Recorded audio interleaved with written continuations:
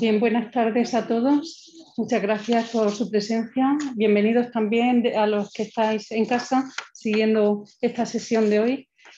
Eh, me cabe el honor inmenso de no presentar, sino simplemente pues, dar la bienvenida también a nuestro invitado de hoy, nada menos que un doctor honoris causa por la Universidad de Murcia, el pintor murciano y universal Pedro Cano. Voy a hacer una brevísima semblanza biográfica, aunque no es necesario porque eh, todos le conocéis de sobra, pero bueno, este pintor, nacido el 10 de agosto, bueno, ya tantos detalles, ¿verdad, Pedro? Bueno, nacido en Blanca y, e hijo predilecto de, Blanca desde 2009, y también citadino honorario de Anguilar Arzabatzia, Ragusa y Fabriano, es, como decía, eh, doctor honoris causa desde el 2005, inauguró el curso 2005-2006 en la Universidad de Murcia. Quiero, a propósito del doctorado honoris causa, también mencionar, aunque sea muy brevemente, a Margarita Lozano, recientemente fallecida, que también en 2015 fue nombrada doctora honoris causa, otra artista. Eh, y como Pedro, otros dos pintores también eh, Ramón Gaya en el 99 y posteriormente también en el 2015 eh, Antonio López. efectivamente, gracias.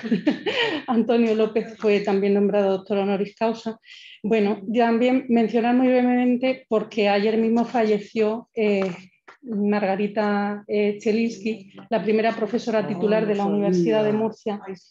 Y bueno, simplemente eh, aprovechar este acto para rendir homenaje a estas dos mujeres y volvemos a Pedro, a quien además de doctor honoris causa, eh, eh, bueno, tiene como reconocimientos el ser, el haber recibido la encomienda de número de Isabel la Católica, la medalla de oro de la región de Murcia, ser académico de número de la Real Academia de Bellas Artes de Murcia, miembro de la Academia Pontificia de los Virtuosos del Panteón de Roma, y, en fin, ha participado en numerosísimas exposiciones en distintos países, tanto de Europa como de América, y su obra está presente en colecciones tanto privadas como en museos de todo el mundo, entre ellos los Museos Vaticanos de Roma, donde hay una tela con un abrazo que él mismo entregó al Papa Juan Pablo II, y en la Galería de los Uffizi de Roma se expone, se exhibe también un autorretrato de, de Pedro. La Fundación Museo, que lleva su nombre, eh, en Blanca, expone y divulga su obra en esa, su ciudad natal. Y en ese espacio abierto multidisciplinar eh, se albergan, además de más de mil obras suyas, eh, también cualquier actividad de índole cultural o social. Eh, Pedro empieza a pintar con solo 11 años, de forma autodidacta, en un principio, eh, gracias a que su hermano le regala un cuaderno y unas acuarelas, unos colores, a la muerte de su padre. Y con 20 años ya inicia sus estudios en la Escuela Superior de Bellas Artes de San Fernando.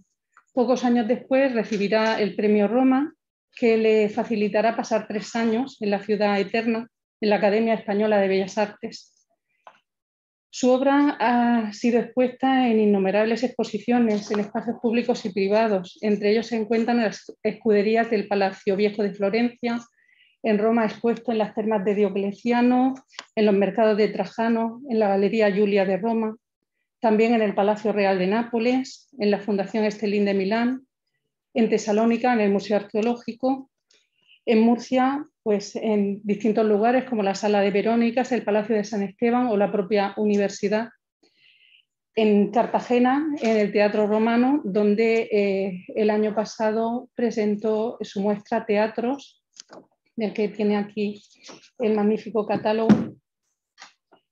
Y también eh, en la Casa de la Panadería de la Plaza eh, Real de Madrid, de la Plaza Mayor, perdón, Mayor de Madrid, eh, expuso eh, en diciembre de este año y se acaba de cerrar, de cerrar ¿verdad? clausurar eh, su exposición en tránsito. En Valencia, en Sevilla, en Valencia, perdón, repito, en el Carmen de Valencia, sí, también en distintos museos de Norteamérica como Dallas, Toronto, Nueva York, Los Ángeles, Buenos Aires, en el sur, entre otros muchos.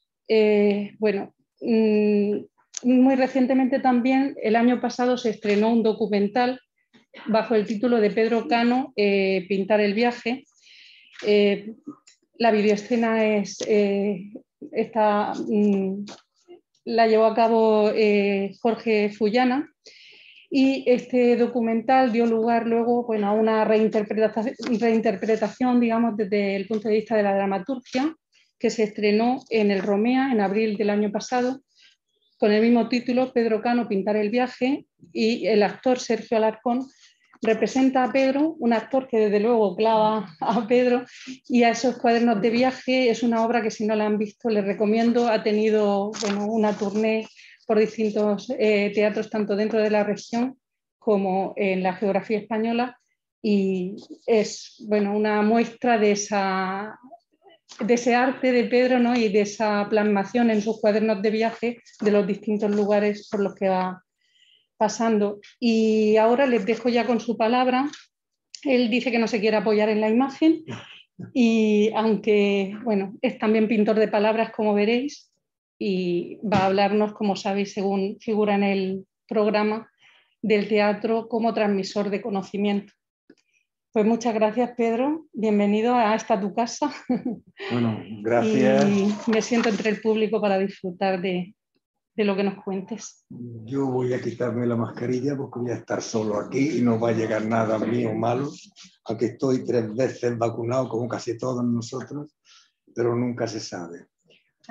Bueno, de, todos modos, eh, yo agradezco a la, a la profesora Guarino el hecho de haberme invitado en este ciclo tan importante y sobre todo tan... Me parece que ahora va mejor. Ahora, ahora va. Está relacionado con el mundo clásico que para mí ha sido en realidad muy importante para, para gran parte de mi obra. Eh, vamos a hablar de teatro y por tanto yo también tenía el nombre de Margarita para esta tarde, Margarita Lozano, como, bueno, yo creo que con Raval ha sido eh, el personaje teatral más importante que ha dado nuestra región. Y no solo teatral cinematográfico, porque en fondo ella lo que sí tuvo la suerte de hacer cosas por autores como fueron Luis Buñuel, memorable papel de Ramona en Veridiana, o como fue los trabajos que hizo con los hermanos Taviani en Roma, fueron cosas realmente bellísimas. Me acuerdo que, no sé quién fue el director, pero había una película francesa que se llamaba Jean de que tenía una participación extraordinaria. Época de una España con más tiempo, las cosas de Gutiérrez Aragón. Nosotros eh, vivíamos en fondo en Italia cerca, no nos veíamos mucho, pero sabíamos que estábamos yo en Anguilara y ya en Bañaya.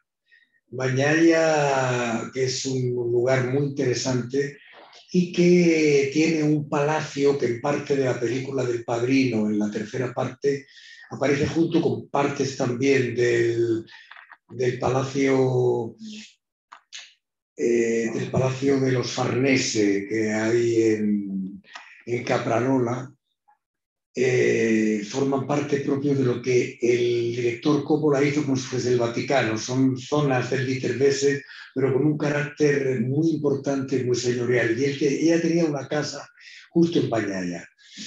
Bueno, eh, mi amigo desaparecido desafortunadamente, amigo también de Pedro, Pedro Matejevic, en ese bonitísimo libro que escribió, que se llama El pan nuestro, habla de la posibilidad de que el primer pan se cociese junto a los primeros ladrillos de tierra cruda. Es muy bonito pensar en eso, como una cosa tan familiar como es para nosotros el pan, no tan importante como es para la construcción de tantas cosas, se metieron al horno al mismo tiempo porque eh, ahí los orígenes de muchos elementos nuestros cotidianos y cercanos a veces se confunden tanto en el tiempo, son tan ancestrales, que no se logra tener una colocación justa de cómo, cómo aparecieron, de cuándo aparecieron, qué, cuál fue la razón. Imaginaos, por ejemplo, la historia del teatro. para mí el teatro yo creo que fue más que nada un juego en principio, el momento que todavía no existía ni siquiera la palabra. En fondo, seguramente, eh, como hacen los niños ahora, que en fondo se mofan a veces unos a otros, eh, los gestos de los cuales aparece el mimo, en realidad aparecen en ese momento ancestral, donde todavía la comunicación no era, era a través de la palabra, pero en realidad eh, tenemos que pensar que posiblemente viene de esa parte, absolutamente como de, juego, de necesidad de, de, contar cosas a través de gestos, de casi una cosa como muy infantil. El origen de la escritura naturalmente cambia radicalmente, pero tiene que pasar muchísimos siglos para que esto ocurra. Pero es verdad que lo que sí sabemos, estamos seguros, es que aparece, mucho antes aparece la escritura en lo que va a ser después la literatura, muy anteriormente a que aparezca el teatro. El teatro va a ser un movimiento sucesivo. Es lógico que eh, no se empieza a escribir al mismo tiempo que, por ejemplo, Homero eh, recopila las historias de la Odisea o la Ilíada. Lo que sí parece ser es que, que Homero, eh, que no se sabe cierto si era realmente alguien o es un compendio de historias que... Lo que sí parece ser que es que parte de esos libros son historias que se transmiten oralmente. Naturalmente la escritura viene a recopilar todo ese material y que después todavía, antes de empezar esto, se ha estado hablando, qué hermoso todavía leer a Homero. En realidad hay cosas que no, que no daremos nunca gracias a que la naturaleza no nos haya, el tiempo, el mundo, los hombres, no nos haya traído para poder seguir degustándolas. Pero eh, tenemos que pensar lo que debió ser en el momento donde la gente no podía leer o escribir, porque una de las cosas más naturales para nosotros es que pensamos que la alfabetización es una cosa de antes de ayer. Eh, si no pensamos esto, es un error, porque en fondo hasta hace poco más de, siquiera, ni siquiera 100 años, no era una cosa tan normal que todo el mundo pudiese usar la escritura o la lectura. Yo tengo que decir, y además lo, decía cuando, en cuando me dieron el doctor honoris causa, yo lo dije en aquel momento y es una cosa que yo estoy muy orgulloso de ello. Mi tía María Jesús no sabía más que leer, no sabía escribir, porque también parece ser que es una cosa automática que hoy todo el mundo que lee escribe. Hubo un periodo enormes que no, como fue otra historia con la lectura de pensamiento, solamente leyendo para nosotros, tampoco es una cosa que existió siempre. Si a través de lo que era el sonido no llegaba a la gente, aquello parecía que no era en realidad la lectura. Y en fondo no fue así. Parece que fue Sant'Ambrogio, a Milán, la persona que en fondo empezó esta historia de poder leer para adentro, poder no exteriorizar. Pero lo que sí nos damos cuenta es que la gente estaba ansiosa de saber y por eso el teatro cumple una misión sensacional, que es la misión de poder unir las imágenes, la gente que se mueve en un escenario contando una historia, a los sentimientos, las cosas que a través de las palabras nos va llegando. Eh, el trasladar un texto de un libro a una representación fue por eso yo creo que un paso definitivo. Es verdad que la literatura viene mucho antes, pero fue a través de un grupo de cómicos musicantes que con farsas, dramas y comedias alargaban el conocimiento de tantísima gente que no tenía la posibilidad de poder leerlo para sí. Y esto, eso, si pensamos por un momento, ¿habéis pensado? Los dos esto más culto. Y depende de la que llevo. Dos formas distintas de agua al máximo. Gracias. Pero debió ser de verdad una conquista maravillosa. Nosotros pensamos lo que fueron los, los teatros en la época de Shakespeare, en la época de las corralas de, España, poder ver, eh, poder ver la gente que podía llegar allí en medio de una tarde o una noche y de afrontar de pie, porque la mayor parte de los espectáculos, sobre todo en lo que era el patio, el patio que hoy llamamos de butacas, la mayor parte de la gente estaba tanto en Inglaterra como en España, estaba de pie. Es más, hemos visto a veces el cine, nos ha dado la posibilidad de acercarnos a muchos de esos momentos y en Shakespeare Love, por ejemplo, se veía eh, pues la gente que, estaba en lo, que estaban en el palco, ahí donde además la reina llegaba de vez en cuando y demás, era distinto a la gente, pero que tenía esa ansiedad de llegar muy pronto al teatro, de acercarse, porque era una forma de conocimiento rara, eh, que todavía sigue siendo muy grande. Dar cuenta que llegó un momento en el que en el teatro, eh, sobre todo con, con, la llegada de la, de la fotografía, y después del cinematógrafo, fue un momento en el que se pensó que el teatro iba a desaparecer. Y en cambio ocurrió una cosa mm, de cualquier modo casi paralela que ocurrió con la pintura. En la pintura ocurrió una cosa parecida. También el hecho de que apareciese la fotografía, la gente pensó, no va a existir más pintura. La gente va a dejar de pintar porque ¿para qué lo necesitan? Teniendo un aparato que hace lo que pasaba es que hay unos valores que estaban por encima de la representación y eso es lo que el teatro nos muestra y lo que la pintura nos ha mostrado. Daros cuenta que el momento en el que Cézanne, primera línea, y después tanto mm, Matisse como Picasso intentaron a, mm, extraer algo que una foto no podrá nunca dar, algo que estaba siempre posiblemente en los cuadros muy antiguos, pero que poco a poco el ejercicio eh, de la exasperación casi de la representación le quitó el espíritu intenso de lo que es ese mundo más desnudo, esa historia de, la organización del cuadro, de la organización del, eh, de lo que es la, la, la, materia, de lo que es la belleza del color casi puramente dicho, que después terminó en la pintura abstracta y terminó. Pues lo más bonito de este momento, y ocurre también con el teatro, es que es maravilloso ver una obra muy conceptual y al mismo tiempo también una obra, una obra hecha de forma muy clásica. Porque lo más hermoso de este momento, y todo eso es contemporáneo, es lo que hoy se puede producir y que tenga sentido y que esté bien hecho. Y como se hace hoy, tiene para mí la etiqueta de, de que es contemporáneo es... Eh, lo que fue importante es que no tengo memoria en Grecia, cuando, no, tengo, no lo sé, cuando se empezaron a crear lo que pensamos que iban a ser teatros. ¿Dónde, ¿Dónde fueron las primeras? Porque seguramente al aire libre se ha pensado siempre, pero seguramente también.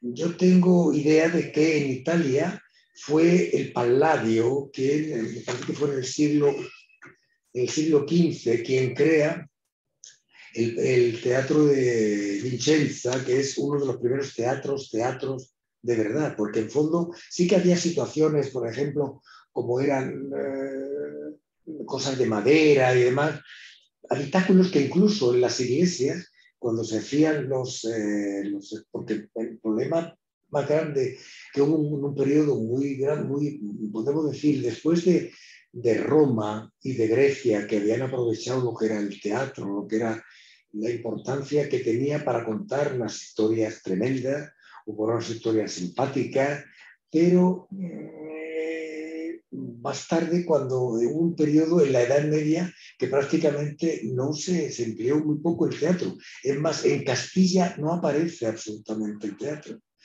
Eh, hay en otros sitios de, Europa, sobre todo en Francia, a partir del siglo IX sí que hay ya teatro, muy relacionado con el mundo de la iglesia. Está muy relacionado, eh, de todos modos, posiblemente más que nada era cosas de tipo casi musical. Que era un ejemplo muy importante en España, que es lo que queda en, Elche, la historia, que es una de las cosas del cual yo tuve el, honor de, ir con Mari Carmen Sánchez Roja, que está aquí.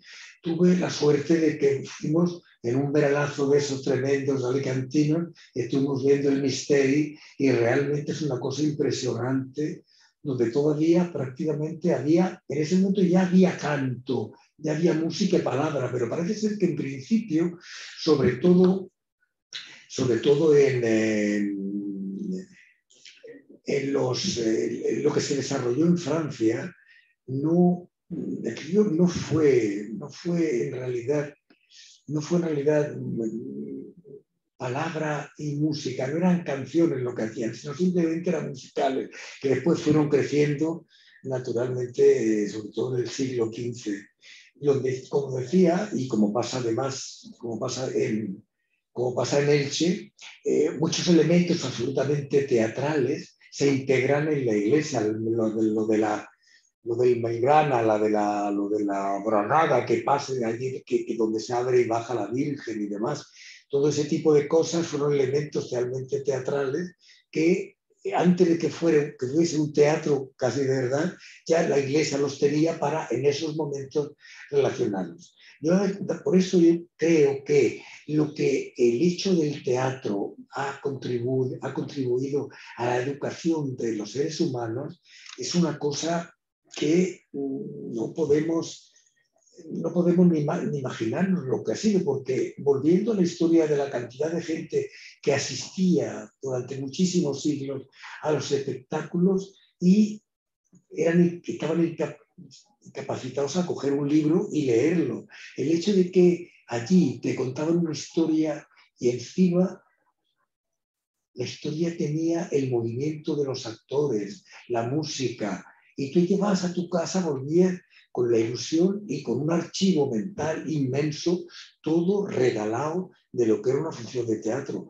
Volviendo a mi tía María Jesús, la que yo os decía que ella solamente tuvo el placer de la lectura, porque hasta que murió ella filmó con el dedo la tía María Jesús. Y hay unas historias muy bonitas que ella contaba y era que después de la guerra, con su padre, ellos vendían, porque el abuelo zurdo, el abuelo Cano, como tenía muchos hijos, a todos les quiso dar algo que hacer para no tener que estar a cara de nadie trabajando. Y eh, como una de las cosas que había en la casa del abuelo y de la abuela eran las telas, eh, la guerra habían quedado, por lo visto, retales que habían comprado y demás, y pasé por los campos de la zona de Mula y del norte de Cieza y demás, ellos iban por eh, las pequeñas aldeas y por los pequeños caseríos. Y la tía empezaba a contar una historia. Por ejemplo, contaba eh, las dos huerfanitas, ¿no? Pero no la contaba entera. Al llegar un momento decía, la semana que viene, en la casa de la tía Encarna, que está en el sitio tal, voy a seguir contándola y vamos a empezar a contar Romeo y Julieta. Era una historia fantástica, porque mucha gente que tenía esa necesidad que todos los seres humanos hemos tenido del conocimiento, a través de la tía María Jesús, eh, la gente iba a recoger de la memoria de esta persona, porque yo creo que lo de la tradición oral, que últimamente parece ser que casi no existe, porque lo más triste del mundo es cuando dos personas están juntas y tienen dos ordenadores, están igual hablando entre ellos, pero sin dirigirse la palabra. Creo que es una cosa tremenda. Y el teatro es una maravillosa, como diría yo, todavía fuente de inspiración para que no dejemos nunca lo que es la importancia que hay de el recibir, el, recibir imágenes, eh, no solo imágenes, imágenes y palabras y sonidos, todo a través de esa caja escénica que, por cierto, no siempre es así. Una de las cosas más bonitas del teatro más moderno y que posiblemente ya se hizo durante mucho tiempo, pero que últimamente ha sido como una gran revolución, eh, la hizo un autor italiano, un director de teatro italiano, que yo le he visto hacer, pues, por ejemplo, un Ariosto, el Orlando Furioso, que es un texto que para hacerlo se necesitan como 10 horas, él lo había resumido en tres, en dos y media, teniendo contemporáneamente ocurrían las cosas. Y los actores venían encima de los actores principales, podemos decir, eran encima de unos carros que otros actores y el mismo público los íbamos corriendo de un sitio hacia otro. Me acuerdo que fue el primer espectáculo que yo vi llegando, la primera día que llegué el 69, en un septiembre del 69 a Roma y me llevaron en la Academia de España, Carmen del Valle, la sobrina nieta de Valle Inclán, que estaba ahí en la academia, me dijo, yo voy a ver un espectáculo, si alguien quiere venir conmigo, y me apunté y os diré que era una maravilla ver aquel espectáculo, además con unos actores soberbios, yo no sabía que era Ronconi, no sabía lo que iba a ver, pero no sabéis, aquellos actores después han sido actores famosísimos. Entre ellos había una chica que hizo unas comedias fantásticas y cosas dramáticas que murió hace no mucho tiempo, que se llamaba María Angela Melato, que fue una grandísima actriz italiana. Bueno, estaba la hija de Gassman, estaba una chica que había hecho El gato pardo con Visconti, eh, habían, os diré, cosas. Aquella noche me pareció precioso. Después me enteré que todos los trajes los habían hecho los mismos, los mismos actores habían creado una especie de como de seminario sobre y entonces fueron había una persona que hacía eh, un personaje que parecía que llevaba con una armadura eh, así y estaba todo hecho con botones. Habían pegado a una, una, especie de cosa pegada al cuerpo, habían pegado botones de distintas medidas, de muchos metálicos, y parecía un personaje que salía de, sitio. Y todo, como decía, ocurría en distintos lugares, ¿no? Había música, había palabra, había acción y sobre todo había batallas dentro del espectáculo. Los, los caballos estaban hechos, muchos de ellos, de cartón o de pedazos de metal. Habían creado unos, y a mí aquello me pareció tan hermoso y además ver que ocho o diez horas de lectura, de teatro, vamos, se había condensado en dos horas y media, me pareció grandioso. El mismo director, como 15 o 20 años después, yo tuve la suerte de ver un espectáculo donde daba la vuelta completamente a lo que era la historia del teatro a la italiana, porque en realidad todavía aunque hay espacios como es el teatro que tenemos en Murcia, el teatro circo, que se podría hacer cuando era circo, se voy a hacer teatro alrededor. Y hay muchas veces que baja en la escena al, patio de butacas para que la gente lo pueda ver de cualquier sitio. Eh, este hombre, me acuerdo que hizo una, representó una cosa de Ibsen, que era espectros, y creó dentro de una iglesia abandonada, creó una idea completamente revolucionaria porque hizo como la reformó toda como de plástico para que fuese como una especie de invernadero. Entonces lo que hizo fue mm, pasar, o sea, eh, echar para atrás, podemos decir, lo que es la platea.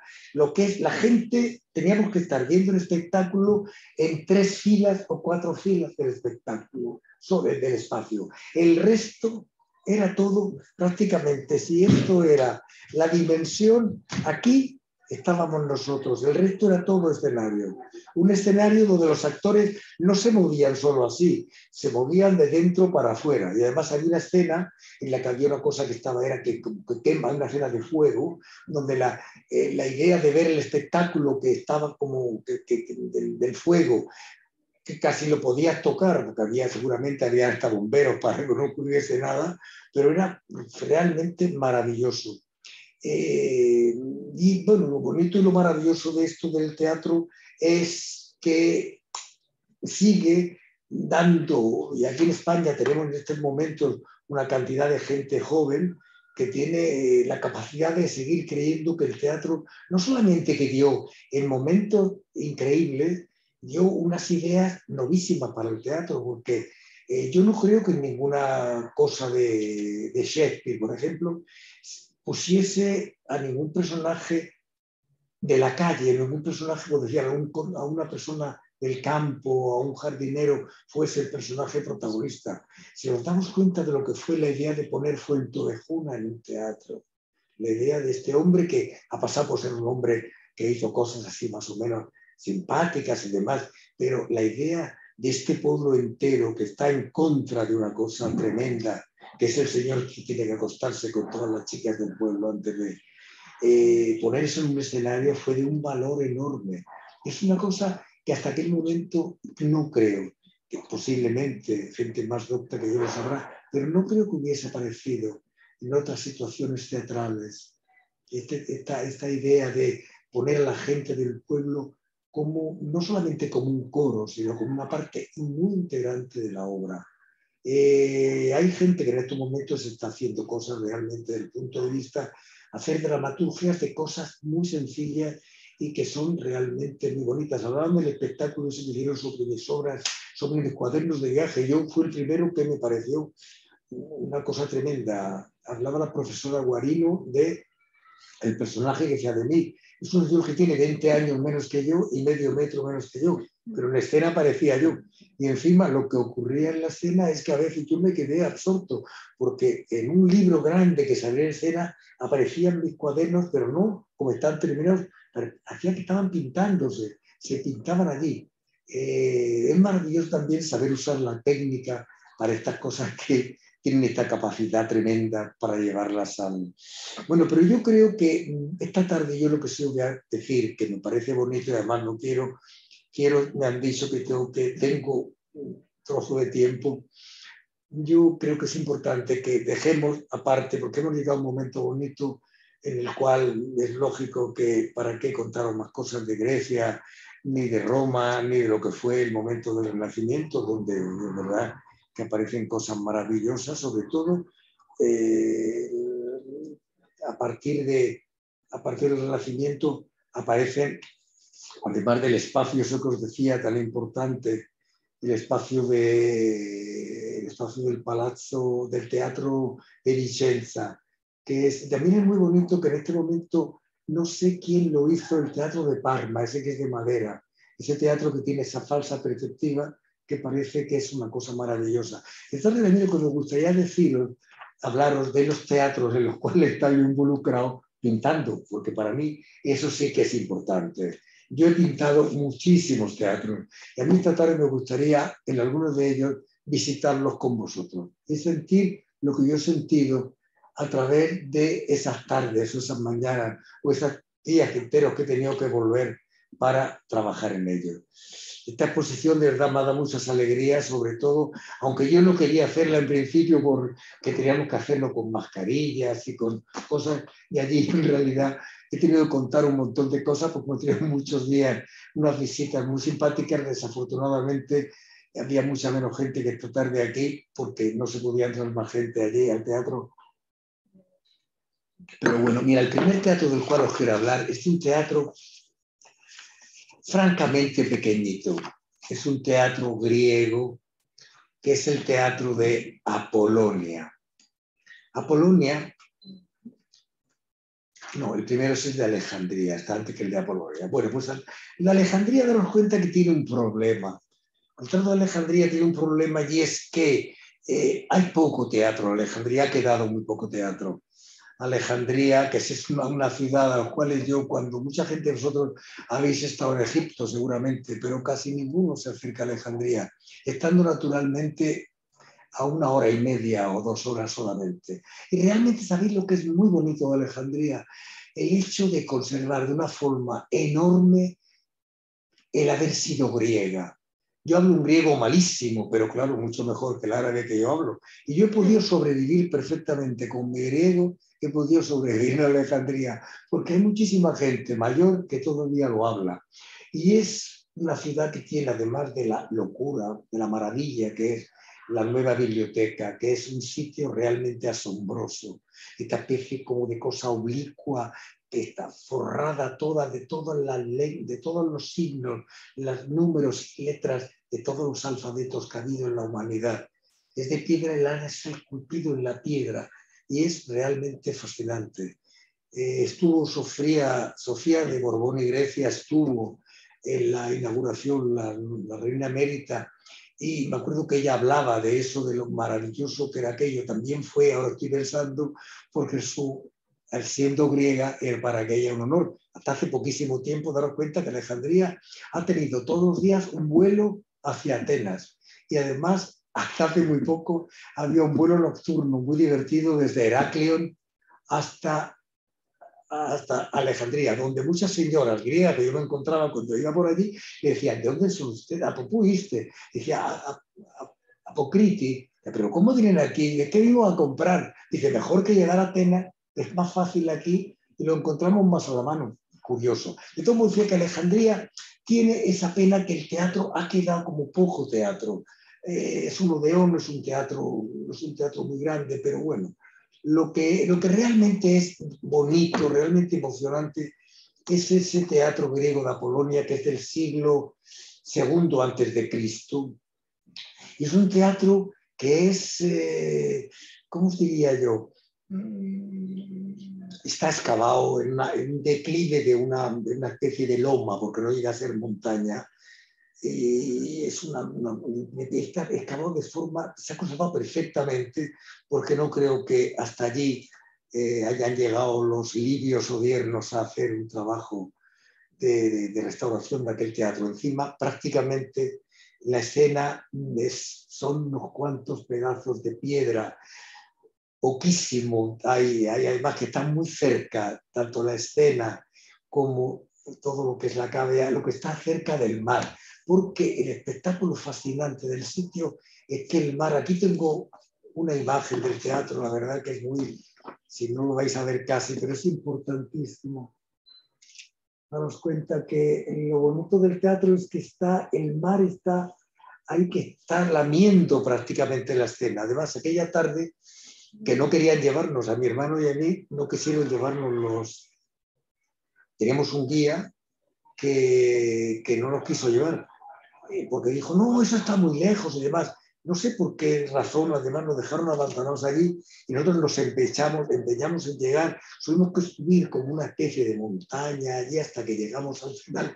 Y cuando vimos lo que era aquella, aquel teatrito donde había una palmera que había quedado, yo lo escribí aquí en una nota, como si fuese un personaje que se ha quedado abandonado de una tragedia griega que daba allí. Mientras yo estaba pintando, estaba en un cuaderno que hay en la fundación, este mismo sitio, me acuerdo que pasó por ahí un pastor que iba con las ovejas, que pasaba por allí, y me pareció de verdad que estaba leyendo una cosa de Homero. Fue una cosa realmente maravillosa.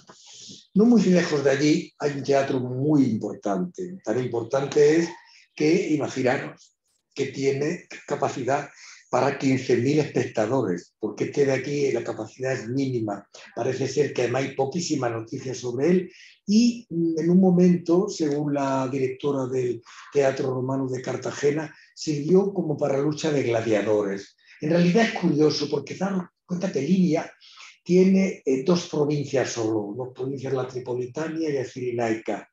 Y hay una historia que os voy a decir ahora porque a mí me gusta contarla siempre que es muy interesante. Hubo en un momento una idea de dividir en la, antigua, no sé si fue Roma o Grecia quien mandó hacer aquello, pero tuvieron que hacer una delimitación de los dos espacios, cuál era la Cirenaica y cuál la Mesopotamia, y cuál la, la Tripolitania.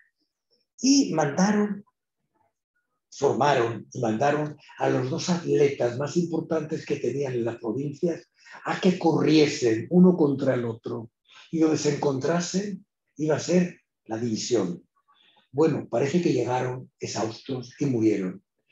Y yo me enteré de esta historia porque eh, llevábamos un, no el guía aquel que no quiso llegar, que no quiso llevar, sino un pobre muchacho que no sabía hablar más que árabe, pero que con el árabe que yo sé me entendía perfectamente, era que nos llevaba en coche a hacer ese recorrido solos, porque eh, por una, me querían, cuando yo llegué a Libia, querían darme otro programa, llevarme hacia el desierto solo, y yo dije que no, que yo quería llegar hasta la Cirenaica. Y al final un sobrino del señor que tiene la agencia de viaje aceptó y eh, mandaron a mi hermano y a mí con este muchacho. Él, un cierto día, nos dijo que iba a enseñarnos algo muy especial. Y especial era, eran dos figuras, de, dos figuras de, de metal, de bronce posiblemente, enormes, que serían tanto como las más grandes que la primera fila de butacas. enorme, de dos hombres desnudos, así en actitud moribunda. Entonces yo eh, tuve curiosidad de saber qué era aquello. Entonces dijeron que era que cuando los italianos invadieron Libia, eh, uno de los mejores ocultores de Italia hizo de aquel mito, de aquella historia, de aquella eh, cosa que de lo que ellos hablaron, hicieron dos figuras que después hubo un periodo en el que, dado que esa hostilidad al desnudo, las masacraron, las chafaron prácticamente, pero que Gaddafi las había vuelto a poner en volumen, las había mandado, las tenían en un sitio, no sé si era un sitio tipo un depósito o era un sitio en espera de poderlas llevar a un museo, no sé lo que habrá pasado con ese tipo de cosas porque ni nadie sabe lo que ha pasado, no eso sino con el museo maravilloso que había en Trípoli. Había un museo que era sensacional, una cantidad de obras que tuvieron los grandes teatros, los grandes, porque en Libia, tanto Septimio Severo como esta gente que fueron personas que habían nacido allí, habían creado habían llevado muchas muy buenas, buenas cosas. Bueno, lo de, lo de que es el teatro que yo voy a decir esto, voy a leeros una, una, pequeña cosa que yo escribí para esto, porque tuve la suerte en el 2000 con él con mis dos hermanos. Y ellos, eh, entramos dando cuenta, había llovido en las primeras horas de la tarde y los turistas habían dejado vacío el teatro. La fachada plana del edificio escondía la enorme cave en parte construida aprovechando el declive de la montaña. Mis hermanos subieron las gradas y yo desde el escenario les recité una poesía de Calderón. La acústica era increíble. De verdad, no sabéis, 16.000 personas podían entrar y sin nadie lo que yo, lo que yo le, le, recité a mis hermanos que estaban arriba en las filas de arriba, lo oían perfectamente. El mundo de. ¿Qué, ingenieros, qué arquitectos organizaban aquellas cosas? En realidad, pensar que todo el mundo hoy está metido dentro de un ordenador, cuántos errores. Si pensamos por un momento cuando a Bell lo cambiaron de sitio para que no se para que no se lo comiera el agua, cuando hoy, que habían, más sobre todo los arquitectos franceses maravillosos haciendo el traslado, cuando volvieron a hacerlo ya no entra el sol el día que tiene que entrar al interior, no pudieron hacerlo, no supieron hacerlo.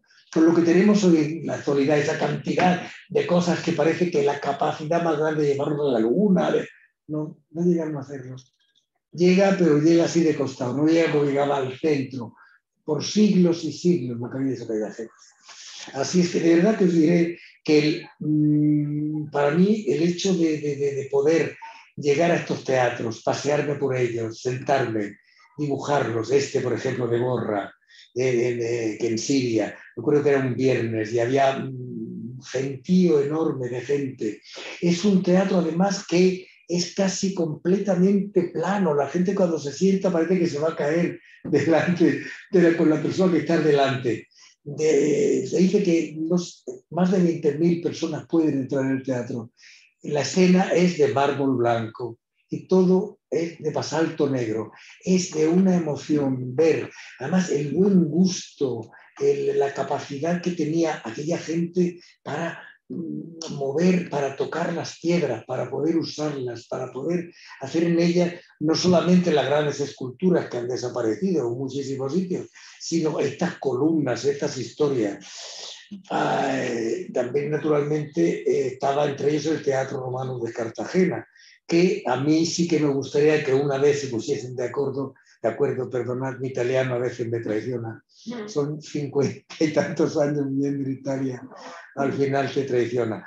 Sería importante que por lo menos se hiciese como una idea, a partir cuánto material hay debajo para poder pensar, por ejemplo, un momento de poder crear la escena. No sería una locura, porque parece ser que además de que era uno de los teatros más importantes que hicieron en la, península ibérica, parece ser que hay más columnas de las que hay en Mérida originales, de mármol rosa maravilloso. Es una cosa que está un poco... En cambio, al lado, fíjate, al lado de este tenemos el Verón Ático. En Atenas, yo cuando voy en verano, voy siempre al teatro, estoy por la noche, no quedo con nadie porque me gusta mucho ir al teatro,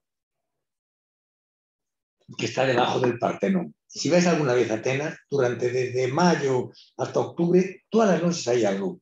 Hay música o danza o cosas clásicas. Una vez, bueno, allí en el programa, si veis, pues vas desde Helen Mirren a hacer una cosa hasta Luz Casal a cantar.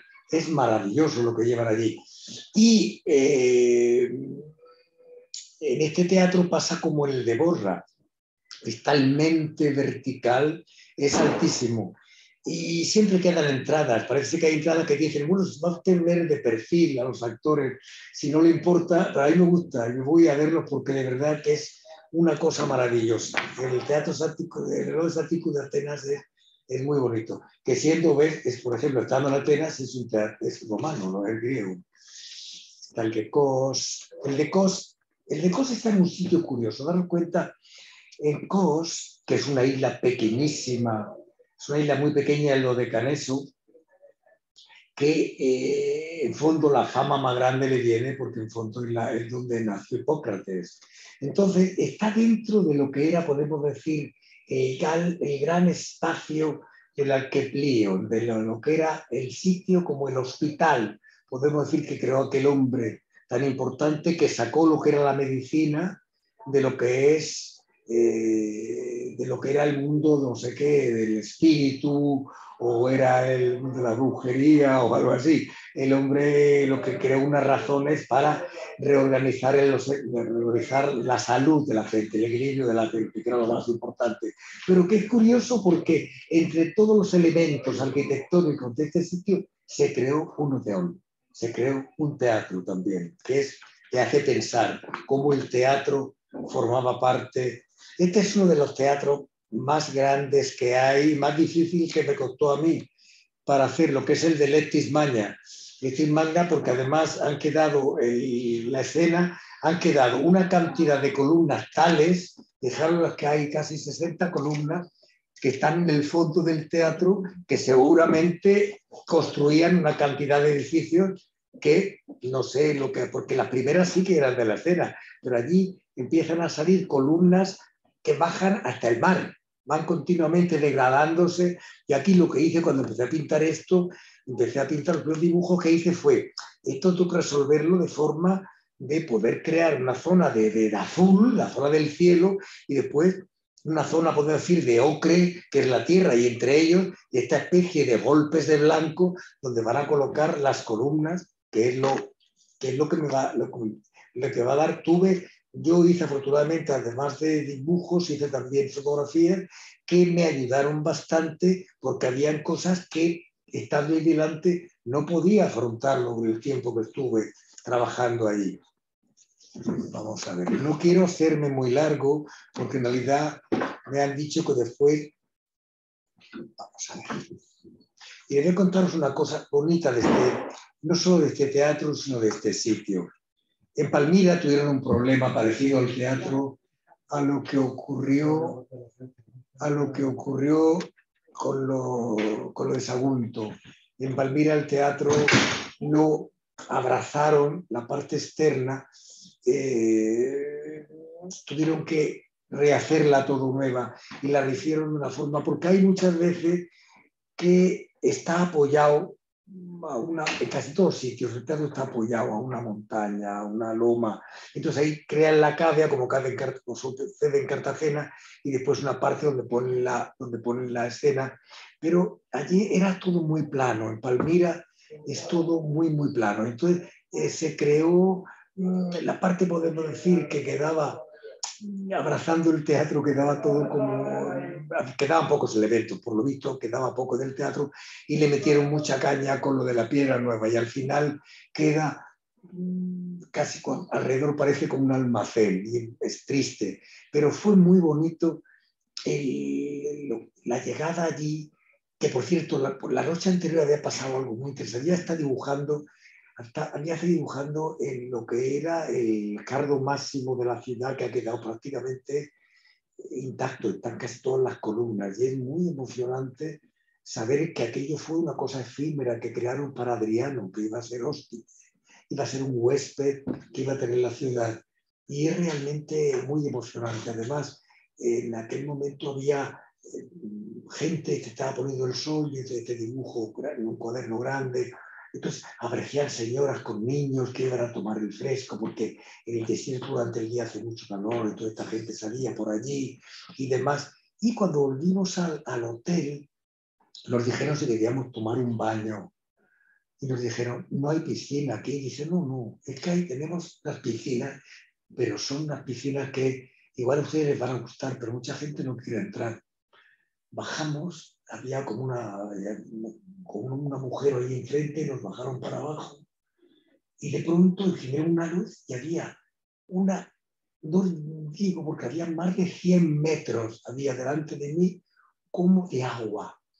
Era un agua que no era muy profunda, el agua que además enseguida como metí los pies en el agua estaba templada, muy agradable, no era muy caliente pero muy agradable.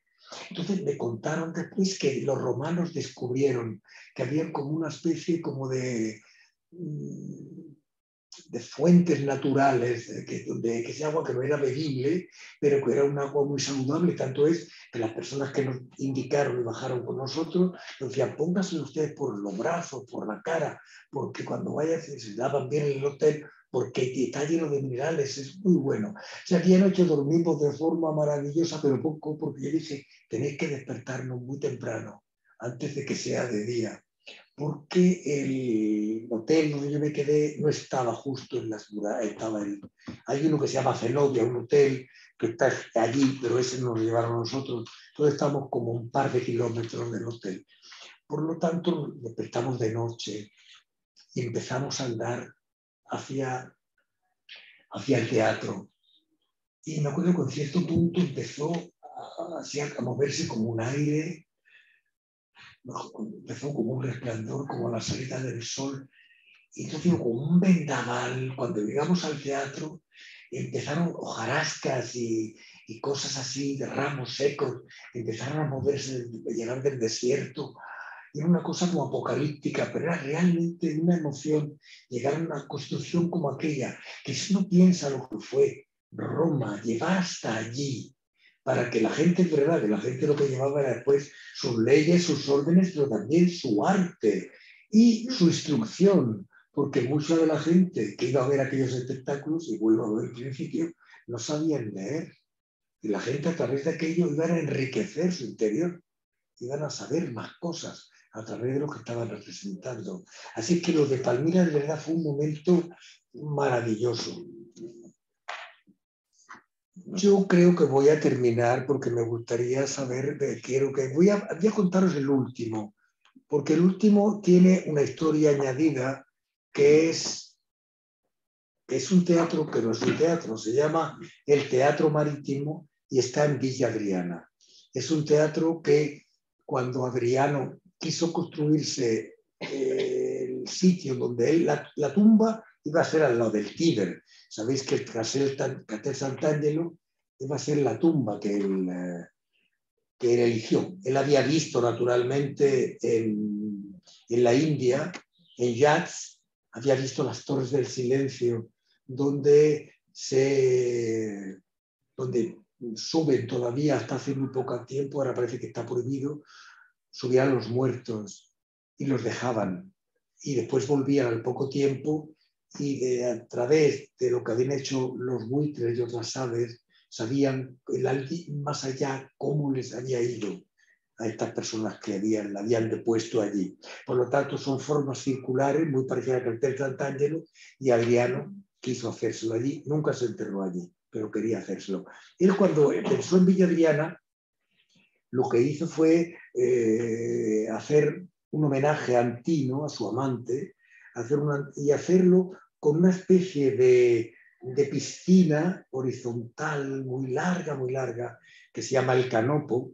Y yo tuve la suerte de que Mauricio Escaparro, que ahora va a cumplir 90 años y que me ha pedido el libro de las ciudades invisibles grande porque lo van a volver a poner en vez de los originales que se pusieron en su momento, se van a poner en Venecia ahora porque le van a hacer un homenaje para los 90 años y como él fue precursor de los carnavales en Venecia y el último carnaval que hizo fue cuando llevó de trabajo de las ciudades invisibles junto con la ropa que se usó para el último emperador de Bertolucci, estábamos en la Bienal a tabique por medio con esa historia, que, de la alegría que te da la vida, pues eh, Mauricio Escaparro me llamó para decirme, yo había trabajado con él en el Galileo de Brecht, si quería participar en esta historia de Villa Adriana. Querían hacer en teatro la memoria de Adriano Margarita Jursenar.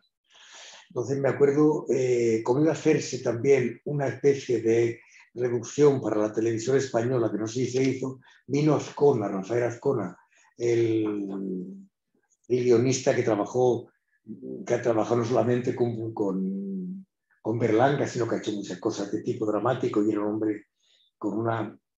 Era genial, yo pasé unos días maravillosos allí. Entonces yo cuidé un poco dónde íbamos a hacer el teatro, dónde íbamos a crear, porque había que crear unos lugares donde iba a aparecer, porque la voz necesitaba en ese momento de el espacio que iba a ser tan importante como los actores, porque en fondo los actores sí que iban a ser, cuando hablaba uno no iba a hablar otro, porque iba a ser el libro prácticamente, iba a ser como una especie de monólogo a más voz que simplemente.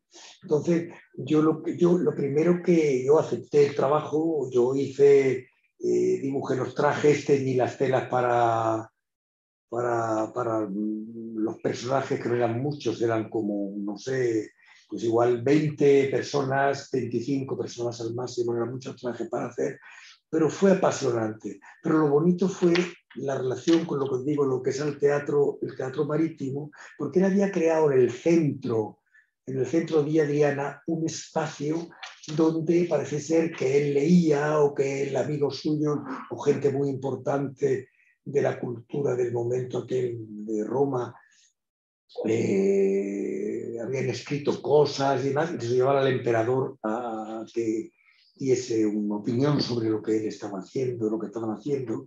Y mm, para llegar al teatro, eh, yo descubrí que había como una especie de, mm, eh, que, como era como una especie de túnel que estaba abandonado y que lo recuperamos porque era más alto que una persona.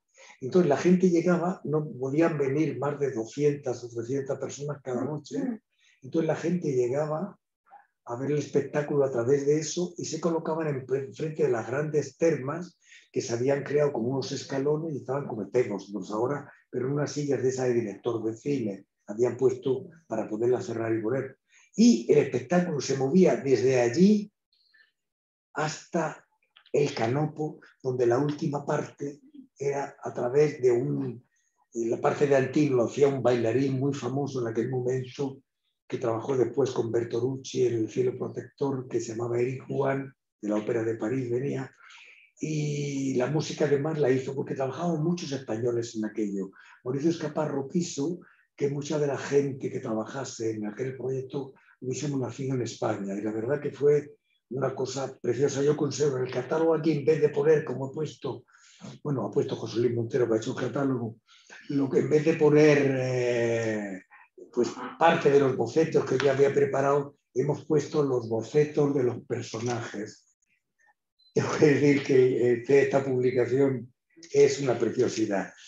Y así, en este momento, daros cuenta que eh, lo que yo decía, para qué sirve al fin, cómo ha sido, cómo ha generado el teatro educación y cultura en principio. Sin el teatro porque yo me acuerdo cuando era pequeño y las primeras veces que en mi pueblo he podido ver una representación, aunque fuese muy sencilla, de unos actores que venían y hacían, cambiaban igual, hacían cuatro días en el pueblo y hacían tres funciones distintas, de ver cosas sencillísimas, pero que te lo creías cuando estabas allí, y sobre todo cosas que tú no lo habías leído en ningún libro todavía porque eras pequeño, pero te habían quedado dentro de tu cabeza. Así es que creo que tengo que agradecer mucho esta cosa llamada teatro que nos ha hecho a todos mejores. Gracias.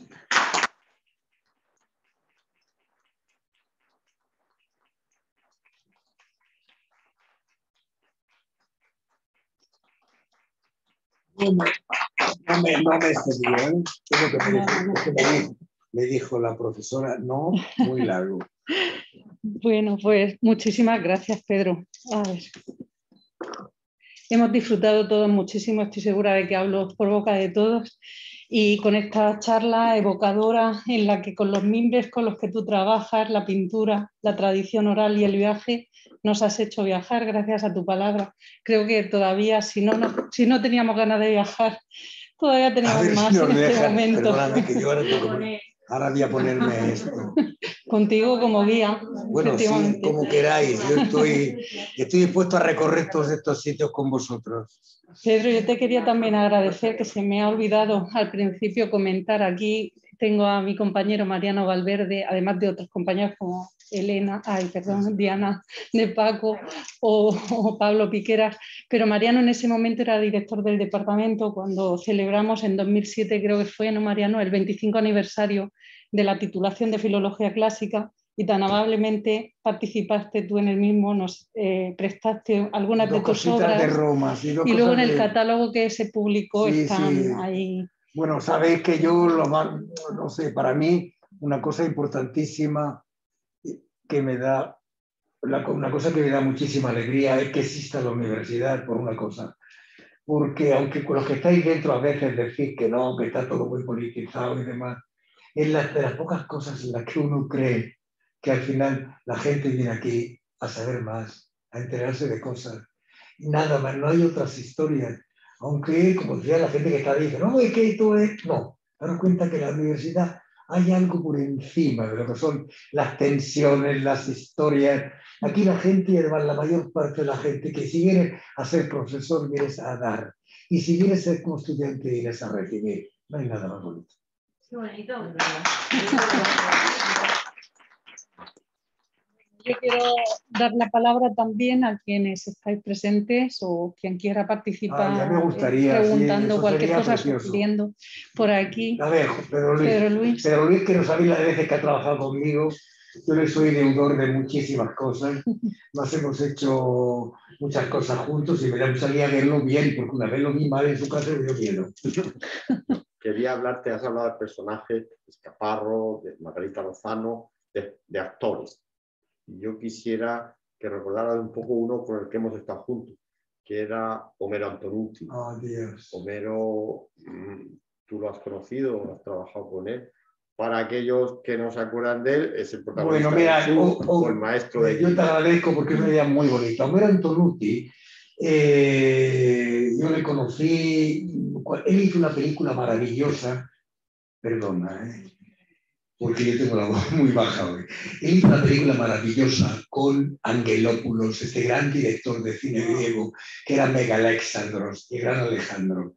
Hizo una película bellísima.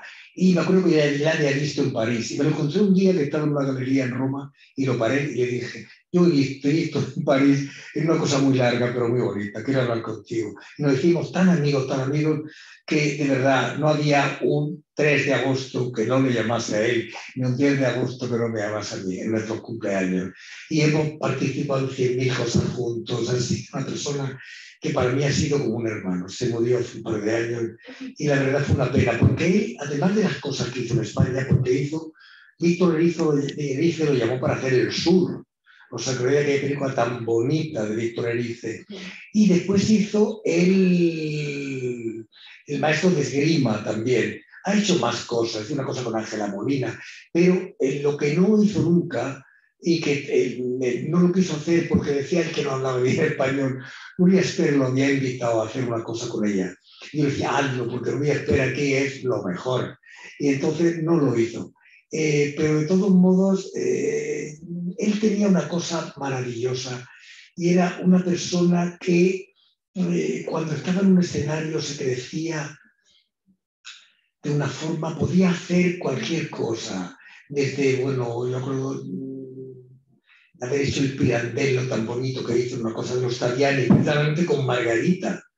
Y ahí estaba con Margarita Lozano, que era muy amigo también de ella. Eh, él ha hecho otra cosa, ¿sabes que hacía muy bien él? Doblaba. Y sabéis que cuando en Italia se hizo, se llevó, eh, hizo Atamé, yo cuando salí del cine dije, ¿quién habrá doblado? a Paco Raval también, que parecía como si fuera Paco Raval sin ser Paco Raval. Y llamé a medio y dije, oye, pero tú sabes, dice que lo he hecho yo. Digo, no puede ser, sí, lo hice yo, porque como conocía a Paco Raval, lo imitó. Y era como si fuera Paco Raval en, italiano. Bueno, una persona que ha sido una verdadera pena haberlo perdido. Y además, seguiríamos hablando, de, perdimos otro amigo, que por cierto, yo fui a verle a este amigo que perdimos juntos hace poco en un accidente horrible. Se tiró a un tren, se tiró un metro en Roma, se mató y esta persona había perdido a su padre, este hombre a su padre en Milán, me llamó Mero, me da igual, me dijo, Pedro, me he enterado que el padre de, de, de Giampiero Bianchi ha muerto. Y ¿por qué no nos vamos a Milán? De mañana yo saco los billetes y te espero en el aeropuerto. Y nos fuimos los dos a Milán a pasar todo el día con nuestro amigo, que después terminó de una forma tan horrenda y tan triste. Pero la gente no está muerta del todo mientras lo pensemos en ello. Así es que, para adelante. Pero bueno, gracias por lo de Homero. Bueno, esos encuentros a nosotros nos ha ocurrido. Voy a poner un ejemplo, es estar viendo un cuadro en Urbino. Esto es maravilloso, cuéntalo. Cuéntalo. Ah, bueno, yo estaba haciendo un curso en Fabriano. ¿Sabéis qué es Fabriano? Perdonadme esta licencia, pero es que me gusta contaros esto. Uno, cualquiera que ha pintado en su vida ha tocado unos papeles de Fabriano.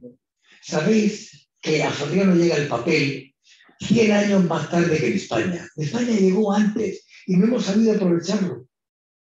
A Játiva llegó el papel 100 años antes que a Fabriano. A Játiva nos trajeron, porque la historia del papel es muy divertida, no es el momento de contarla, pero lo trajeron los, la, la mano de obra era árabe. Mentira, la mano de obra era judía, pero eran todos árabes lo que trajeron en ese momento, en el siglo, vamos a ver, fue en el siglo XI, creo, trajeron el papel a España. Y el problema es que nosotros no hemos sabido hacer nada. Porque yo estaba haciendo un curso allí de pintura y un amigo mío que tiene coche me llevó a, a Urbino. En Urbino, porque vino hay que, que, ver muchas cosas, pero naturalmente hay un museo donde hay un Piero de la Francesca, así de pequeñito, pero que es para mí casi más importante que la Capilla Sistina con Perón. Un cuadro de Piero de Francesca que es una locura de cuadro, un cuadro robado, recuperado, bueno. Y de pronto yo ya íbamos con poco tiempo porque teníamos que ver a una amiga. Estaba, bueno, dimos después a la, a la amiga tuya griega. Estaba, después la vimos y comimos, ¡uh, qué maravilla de día! Pues entonces, porque de cuando voy a algún sitio, como conoce más sitios que yo, me dice, tienes que ver a tal persona, me da direcciones para que yo vaya y me haga amigas de esta gente. No sabéis cosas más bonitas. Bueno, yo estaba allí con este corriendo digo, vamos a ver esto, vamos a ver que veamos el cuadro de Piera Francesca. Y de pronto hay un señor que está delante de mí mirando el cuadro. Y yo lo mismo digo, eres tú, Pedro, eres tú, Pedro. Estábamos los dos viendo el mismo cuadro. Habíamos ido a ver el museo para ver un cuadro. Esto es muy bonito y hay que hacerlo, la verdad, que, que aquel día uno cuando encuentra estas señales de fraternidad son realmente maravillosas, maravillosas. Vamos a ver si hay alguien que quiere, Mari Carmen. Es un, es un recuerdo, pero para los que hemos tenido la suerte de estar allí, no se nos olvidará es sobre la importancia sociológica e incluso política que tienen los teatros. Yo tuve la inmensa suerte de ir con mis amigas a Palmira, el último viaje que permitieron antes de la guerra. Bien, si os acordáis, cuando eh, eh, ganaron el Basar Basar, eh, pudo otra vez ganar sobre aquello, lo celebró con un acto en el teatro lo celebró con un acto en el teatro. Bueno, por darnos cuenta en esa locura de esta gente, todo espero que no pegara muchos tiros, dijo, y esperemos que porque hemos visto tantos signos de... Impresionante. No, no, no, no, no, claro, un emblema. El fue el primer acto oficial que se hizo de reconocimiento bueno, mira, respecto a eso voy a decir una cosa, americana. Muchos de vosotros lo sabéis, en Blanca hay teatro.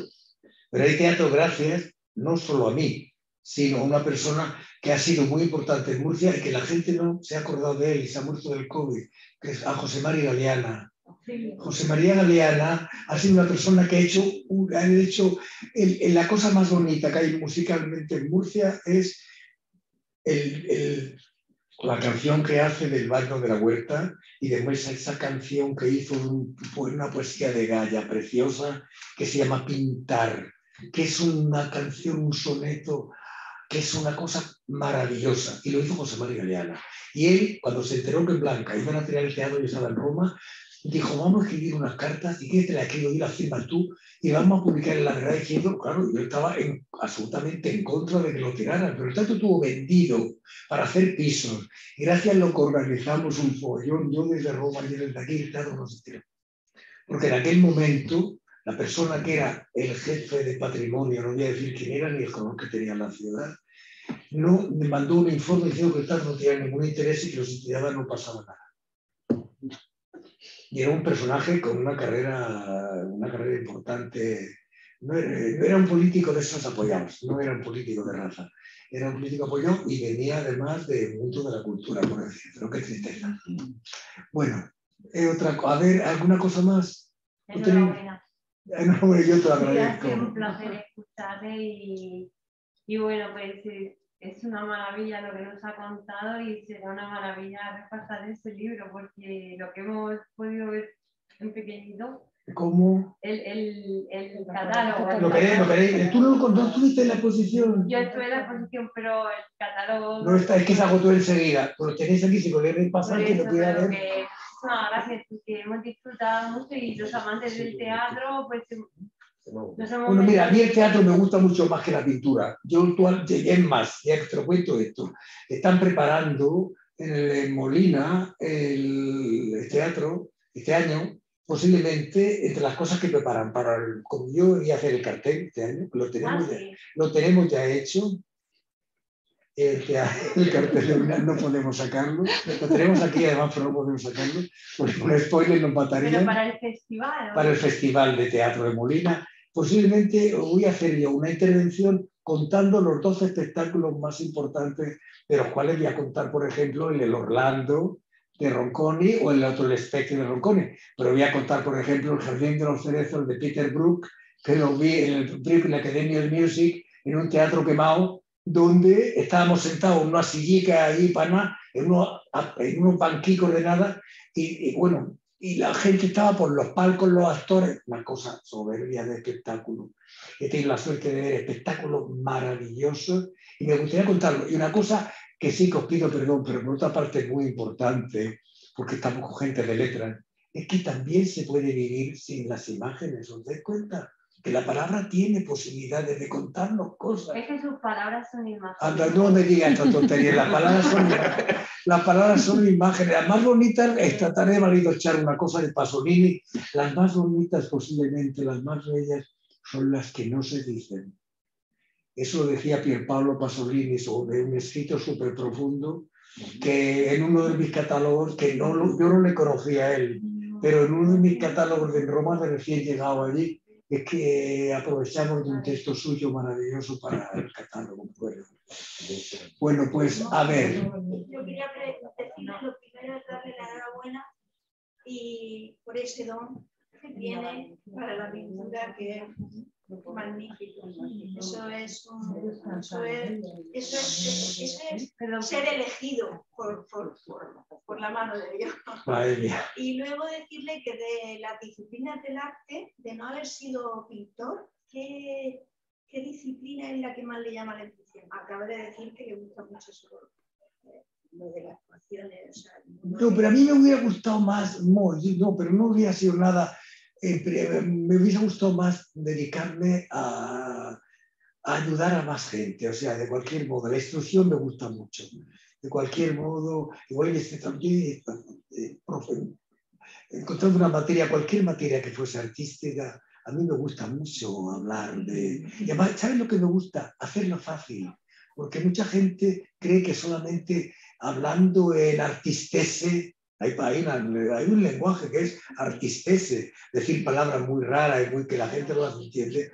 Y lo más bonito, pero muy condicionado por una cosa. Mi pintura, incluso que tú, lo que me has dicho, me gusta y me da alegría. Y hay gente como era Calvino, que le encantaba mi pintura, hay un hombre muy, muy preparado, eh, vamos, conceptualmente. Pero mi pintura le gustaba a mi madre. Si yo me hacía un cuadro, mi madre no lo entendía, a mí no me servía. Para mí eso, eso es importante. Intentar no hacer las cosas complicadas. Y me hubiese gustado igual dedicarme a lo que, a lo que dedicáis vosotros, muchos de vosotros, a enseñar. Creo que Paquita quería... Ah, vale, hay alguien que quiere... A ver, A ver. a ver. Ah, qué bonito.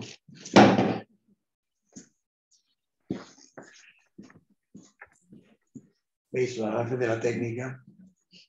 Pedro, yo te quería preguntar mientras eh, que también participaste en el eh, Atlet ¿no? de la de Galileo Galilei de Bertolt Brecht. Hice el Galileo de Brecht, sí. Sí. Hice- Creí una esfera hervilar que ocupaba toda la escena. Pensé que esa idea podía ser muy bonita, crear una y, y después lo que pasa es que tuvimos que buscar un ingeniero para que nos la abriera, porque una escena todo el tiempo, dos horas y media de espectáculo, a veces se cansaba. Entonces, abriéndola, eso se convertía en una iglesia, en una cárcel, en muchas cosas, y después se recomponía lo que era la esfera. Pero la idea de que una esfera, cuando tú, yo quería en realidad ponerlo en el patio de butaca, quitar todas las butacas, pero me dijeron que bueno, que fuese, me fuese a paseo, que era una cosa muy complicada. A veces, como todavía no está, he visto espectáculos incluso donde nos han llevado al teatro y nos han pasado y todo el espectáculo se ha hecho detrás del espe- Han puesto un telón y se ha visto dentro del telón, imagínate. Eh, que- Sí.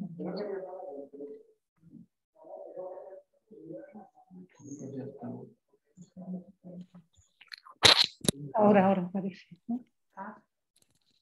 Sí. Con la mano levantada. Sí. Pero- Pero, Paquita. Hola, Hola. Ah, bueno.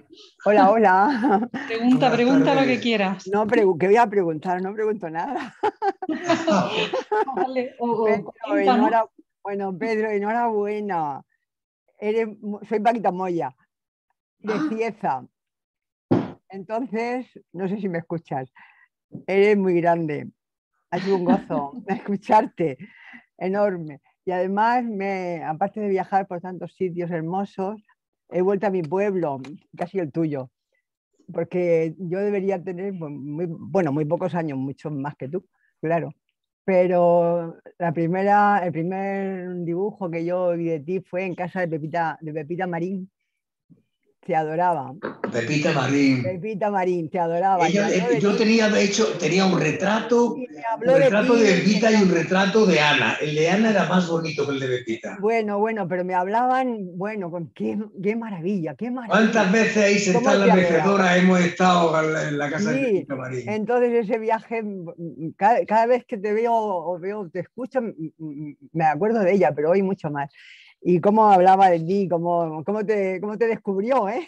Es verdad, en realidad ¿Cómo te todavía no había? Bueno, ella aún no había no. salido del cascarón prácticamente. Ella sola no, pero es que era una mujer excepcional. La- los, tres, los tres hermanos, Los tres hermanos, de los verdad. tres hermanos. Fíjate, sería, eh, Antonio está vivo todavía, pero que Sí, sí. sí, sí, sí. Sería muy, ¿por qué no hacemos una vez una cosa bonita para los Marín? Sería hacerle una especie, porque ese tipo de gente que ha vivido, Bueno, que sido unos referentes culturales en los pueblos, porque yo creo que la cultura no solamente se ve en las grandes ciudades, mucho menos. Sí, La cultura es también es importante, la cultura en los pueblos. Claro que sí, y como además como tú lo cuentas también, pero es que ellos lo cuentan muy bien las cosas que cuentan, tanto Pepita. Ellos como hablaban los tres. Es una forma, la tradición oral en esa casa era Uy, la- parte de la, de la vida Una de maravilla, y era todo amor, en esa casa era todo. Sí, de la verdad que era una casa. y la ventana. ¿La casa sigue estando abierta o no? Sí, sí, sí, la más Antonio la A tiene la calle Angosto, pues yo un día vine a si- a verlo. ¿qué como si pasa? fuese un, no sé, yo algo lo vi en sagrado. algún, en algún entierro en Blanca, los he visto, pero Claro, ahí, tienes que ir a fiesta fueron. porque te, te adoran, te adoran. Bueno, pues muchas gracias por, la, por haber seguido esto. muchísimo, me ha encantado. Y, y yo quiero ir a, a esos sitios. Enhorabuena, ¿eh? Hasta Enhorabuena pronto. y, A y- seguir bien. Muy buen, Buenas muy tardes. buenísimo, orgullosísimos de ti. Hasta luego. Y, y felicidades, Charo, y a la SEC. Gracias. Vamos, otro. ¿eh? Muchas Gracias. No hay nada más. No, por ahora. Entonces, bueno, pues muchísimas gracias. La verdad que hemos estado como en la mesa camilla esta tarde. ¿eh? La mesa de camilla. No, pero no, no, pero fíjate que es muy bonito. Así cuando hay poco aforo te sientes como más en tu casa. Cuando ¿Puedo hay- decir una cosa? Dime, ve. Eh, El otro día, de las mm, muchas veces que he tenido la suerte de ir a ver tu exposición en Madrid, pues entré con una persona mm, especialmente sensible y cuando bajábamos las escaleras se quedó mirando así aquello, que se veían unas figuras así, no, con las columnas, y me dijo, ¡Ah, si pinta el alma. Fíjate que, Madre mía, Qué cosa, ¿eh? ¿Cómo captó el espíritu de, la, de las figuras aquellas que estaban de espaldas y a pesar de todo había captado el alma? Y es que de verdad, yo esta tarde, mientras te oía, lo estaba pensando, digo, estoy viendo un cuadro de él y está hablando el cuadro, pero es que está hablando él Y está sin nada todo. delante y estamos viendo el cuadro, ¿verdad? Así que, como siempre, mi adoración, mi admiración y mi cariño. Gracias. qué gusto. Menos mal, no lo sabías, te lo he dicho Sí, mal. sí, es que se me olvidó contártelo, se me olvidó contárselo a Raquel, pero fue una No, expresión. no, pero que no lo sabías de esto de hoy, lo sabías, lo ha hecho Raquel. Sí, lo ha hecho Raquel. Porque eso yo que le he dicho, ya a tu madre que quiero verla. Qué bien. Fue Bueno, maravilloso oír a que es que pinta el alma. Además es que le salió tan bonito y me pareció una cosa preciosa. La verdad, mira, mientras, mientras ya título cosa, mira, tiene una exposición puesta, lo bonito es que los cuadros tienen, dan un servicio. Ha sido maravilloso. porque están esos cuadros, la exposición, y además fíjate en la exposición que ya ha estado expuesta en otros sitios, pero tuvo un significado muy grande allí, porque estábamos sin ningún tipo de información, no había ni un cartel, no había, Sí, sí, y ha sí. sido un pasaparola, un, de, un, un oído boca, boca oído. la gente- el último día vieron casi 300 personas. Eso es lo que esto- Decían que estaban locos los, los custodios ahí del sitio, estaban súper emocionados. Bueno, pues a seguir trabajando, que es lo que más, lo único que se puede hacer. Que, me- que, que sigamos trabajando y muchas gracias por venir. Gracias.